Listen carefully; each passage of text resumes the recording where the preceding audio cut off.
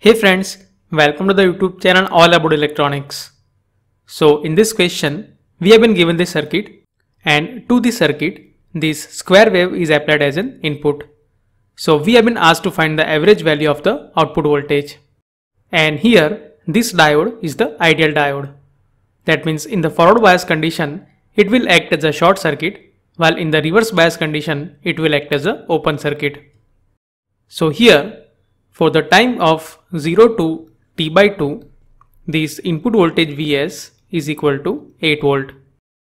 Similarly, from t by 2 to t time period, this voltage Vs is equal to minus 10 volt.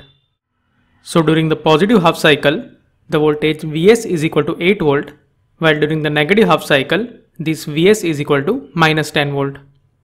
So let us find out the output voltage during the positive as well as the negative half cycle. So during the positive half cycle, this voltage Vs is equal to 8 volt.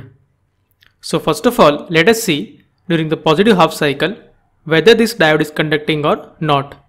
And for that, let us find out the open circuit voltage across the diode. So when this diode is not connected in the circuit or during the open circuit condition, the output voltage across each resistor will be equal to 4 volt. Because here as the both resistors are same, so the voltage across each resistor will be equal to 4 volt, right? That means the voltage across the anode and the cathode of the diode will be equal to 4 volt. And as this voltage is greater than 0, so this diode will conduct. That means during the positive half cycle, this diode will act as a short circuit. And because of that, this 100 ohm resistor will also get short circuited. That means during the positive half cycle, this output voltage VL is equal to 8 volt. Similarly, let us find out the output voltage during the negative half cycle. So during the negative half cycle, the input voltage is equal to minus 10 volt. So once again, let us find out the open circuit voltage across this diode. So when this diode is in the open circuit condition, then the voltage across each resistor will be equal to minus 5 volt, right? That means the voltage across this anode and the cathode of the diode will be equal to minus 5 volt, while similarly, the voltage across this 100 ohm resistor or this voltage VL will also be equal to minus 5 volt.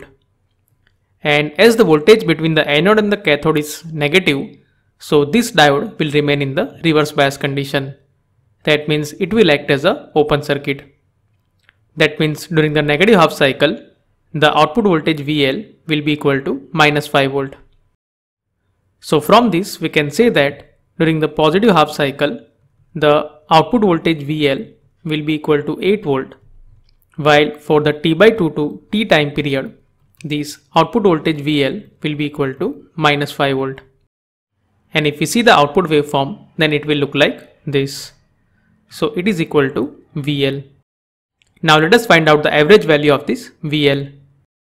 So this VL average can be given as 1 by T integration 0 to T VLT dt or we can say that it is equal to 1 over T times 0 to T by 2 that means during the positive half cycle the output is 8 volt while from T by 2 to T time period the output voltage is equal to minus 5 volt.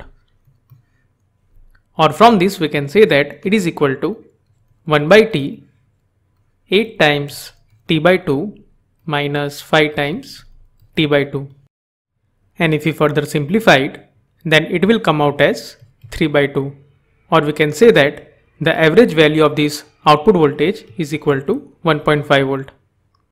That means for the given question the average value of the output voltage is equal to 1.5 volt.